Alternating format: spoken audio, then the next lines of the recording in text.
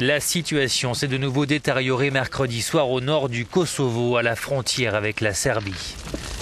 Le poste douanier de Jarinier, qui fait l'objet de tensions entre les deux pays, a été attaqué et incendié par des dizaines de Serbes kosovars.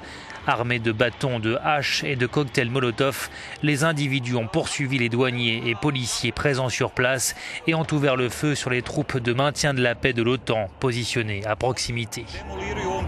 Ces violences interviennent alors que le gouvernement du Kosovo tente de faire appliquer au nord, peuplé majoritairement de Serbes, un embargo douanier sur les produits en provenance de Serbie.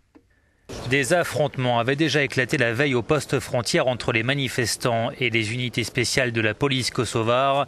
L'un des policiers touché à la tête a succombé à ses blessures.